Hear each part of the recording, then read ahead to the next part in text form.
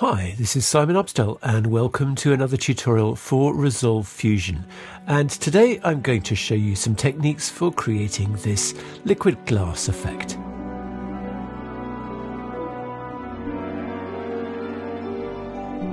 So quite a lot of interesting ideas here that I think you're going to have fun exploring. Let's get started. Okay, so here we are in Resolve. I'm going to make a new Fusion composition. I'm going to call this Liquid Glass. My project settings are 1920 1080, so that's what the composition is going to be. Five seconds duration is good. I'm going to go with 30 frames a second. Create, double click to open it up, come to the media pool. I've got three assets that I want to bring in, drag those in, don't want to merge any of them. So this one is a rainbow gradient, so let's call this rainbow. This one here is my image from pexels.com. I'm going to call that image and this is my matte. So I'm going to call this matte. I will show you how to make this matte, but it's a little bit too much for this tutorial, I think, which is already going to be quite long. I will just say that because it's an image sequence, a sequence of PNGs, you will need to bring it in via your media storage. So bring it in like that. But the important thing is you'll need to click on this menu here and set the frame display mode to sequence. Otherwise it'll come in as a still frame. So set the frame display mode to sequence and then you can drag it into your media pool like so. So now this matte is only 40 frames long and what we need to do is come over and hold last frame for say 300 frames. Okay, so the first thing I want to do is I want to merge my image over a background. So I'm going to make a background node. I'm going to merge my image over the top. Let's take a look at the result. Now we need to set the size to 0.4 and let's come to the first frame Let's keyframe the center. Let's set the Y value to 0.4. Let's come forward to frame 30. Let's set that value to 0.3. Let's come to the end and set that value to 0.75. And this is going to give us a bit of a pan over the image like that. So a little bit of a jolt as the effect starts, and then it's going to pan down like that. And you might want to come over to the spline editor and select all the points and Shift S to smooth them. Next thing I want to do is I want to take a look at my matte. We've already extended it. So I'm going to add a transform node. I'm going to set the size to 0.9 and the aspect ratio to 0.8. I'm going to add a merge node.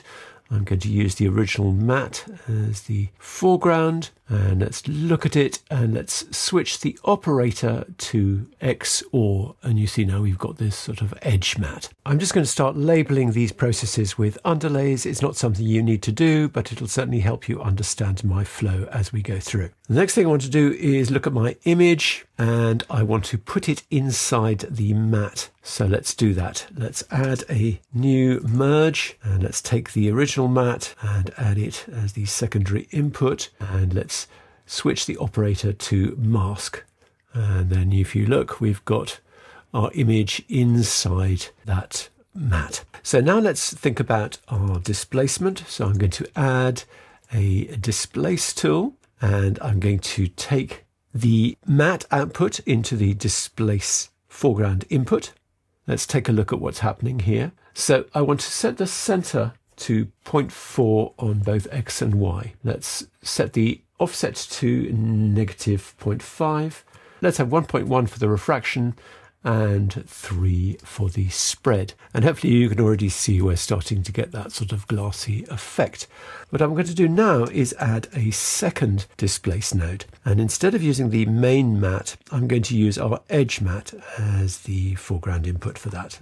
Let's take a look at that. Let's, in this case, set the center to 0.6 and 0.6 on X and Y. Again, let's set the offset to negative 0.5 Let's set the refraction strength to 0.25 and let's set the spread in this case to 1. Now we've got a little bit of an issue at the beginning with the way the blobs appear and to sort that out I'm just going to keyframe the refraction strength of displace 1. So I'm going to come to frame 30 and I'm going to keyframe that at 1.1. Let's come to frame 0 and keyframe that at 0. And then that's they're just going to be a little bit more blob-like like that as they grow. Okay, so the next thing I want to do is I want to make a soft version of this edge matte here. So I'm going to add a blur and I'm going to take the output of that edge matte into the blur. I'm going to set the blur value to 15 and I'm going to add a merge and I'm going to take my matte and add it to the foreground of the merge. So then if we look at that, what I'm going to do again is switch the operator to mask and you can see we are just blurring the inside. We're still getting our, our hard edge on the outside. So I'm going to use this in the following way. I'm going to add in my rainbow effect. So let's find him. Bring my rainbow effect over here. Just to remind ourselves it looks like that. I'm just going to process this a little bit before we add it in. So I'm going to add Uh, displace. I'm going to set the offset again to negative 0.5. I'm going to set the strength to 20 and the spread to 3. And we need something to drive that, so let's have a fast noise. Don't want to merge that, sorry. And I want to take the fast noise into the displaced foreground. Let's take a look at it. We just need to set the scale of the fast noise to 4, and to give ourselves a bit of animation, we're going to set the seethe rate to 0.1. Let's take a look at that. So we're getting this effect here. And now what I'm going to do is I'm going to take that displace, I'm going to add a merge, I'm going to take the output of this little process here, pipe it into the merge. And then I can take my soft edge matte and use it as the effect mask input for this. So let's take a look at that. So now we've got the, this effect just on the edge. And we can switch the blend mode to color dodge and just reduce that gain to something like 0.35. It's going to give us that nice sort of iridescence on the edge. You know, you can dial that up or down to taste. So I've just taken a moment to do a little bit of tidy up using some underlays to isolate these different operations. So that's our soft edge matte there, the blur and the merge. We've got our iridescence there and we've got our displacement there. I think it's probably now time to add this back in again over the background. So I'm going to add another merge after this one here. And I'm just going to find my merged background and I'm going to pipe that into that merge there. Just add in a pipe router just to tidy it up. So let's look at this. Obviously we need to swap that. So that's Command or Control T. So now that's in the background. And here is our effect starting to take shape. Now there's another process that I want to add in just before this displacement. So I'm going to move all this along a bit to make ourselves a bit of space. So after this merge here, let's have a look at that. I want to add in a new merge. So new merge like this. And I want to take my background, this one here, and add it to this merge here like this. So what I want to do with this merge is I want to flip the vertical like that. And then I want to mask it with my soft edge matte. So take this soft edge matte output into the effect mask input of this merge. And I've just added in a little underlay to call that edge refraction. So if we come back and look at our final result here and we toggle this edge refraction, you can see that that sort of upside down version of the background is actually quite a useful addition in there. We can certainly adjust that. We could, for example, reduce the alpha gain so it gets brighter like that. I think I quite like that. I think probably go for about 0.5 here. And another thing we can do while we're here, I'm just going to give myself a little bit more space to do it. So after this merge here, the one where we're isolating the insert as it were, I'm going to add a brightness contrast.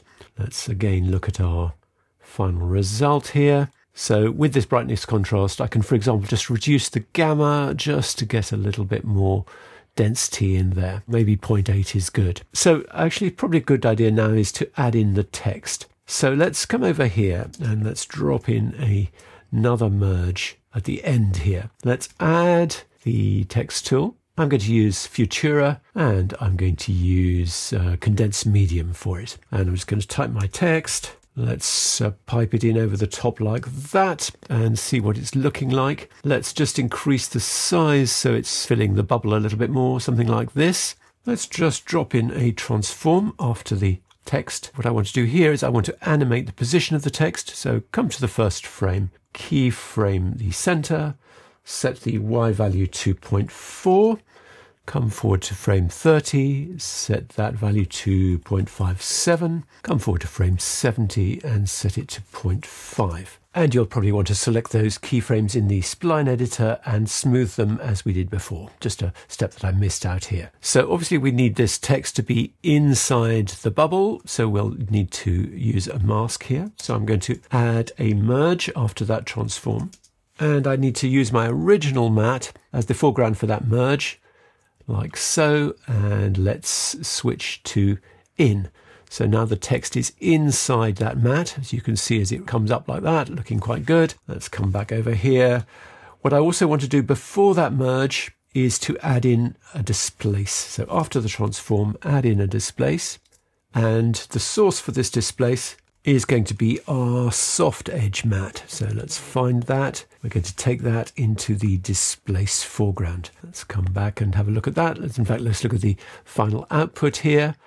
Let's set up the displace. So let's have a refraction strength of about 0.13, and I think that's probably enough actually. Let's have a look at it. Yes, yeah, so you can see that that's being nicely displaced with the bubbles as it rises up like that, and as it hits the top there. Just quite a nice sort of extra detail we've got there. So I've just made an underlay for my text, and what I want to do is I want to show you how that if you wanted, you could add in some blur. Now I think probably the sensible place to do it would be before the iridescence and after this displacement. So let's try it there. So after that displace, we're going to drop in a blur node.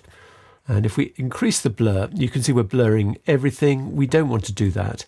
So let's use our soft edge matte as an effect mask for the blur. And now you're seeing we're just blurring the edges, but we don't actually want that. We want to do the opposite. So let's come to settings and apply mask inverted. And now you see we're blurring just that inside there, and we're leaving the edges fairly nice and crisp. Obviously, we also have the problem that we're blurring out over the background. So after that, let's add another merge. And in this case, we want to use our original matte from over there as the foreground input to this new merge here. And again, we want to set the operator to mask. So you see now we're masking off the blur that's going outside the matte. So let's come back and look at the result with our text. We may or may not like that blur effect. Personally, I think it's nicer just to keep the full full on glass, but it's entirely up to you. So anyway, uh, that's the effect. I hope it's given you some ideas as to how to develop this a bit further yourself. There's loads more details we could add, but I think from the point of view of keeping this tutorial fairly simple, that's a good place to stop.